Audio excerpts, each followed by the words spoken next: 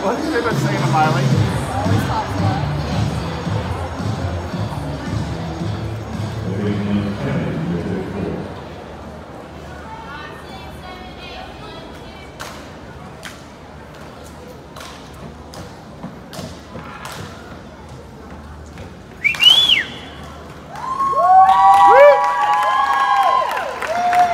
Thank you.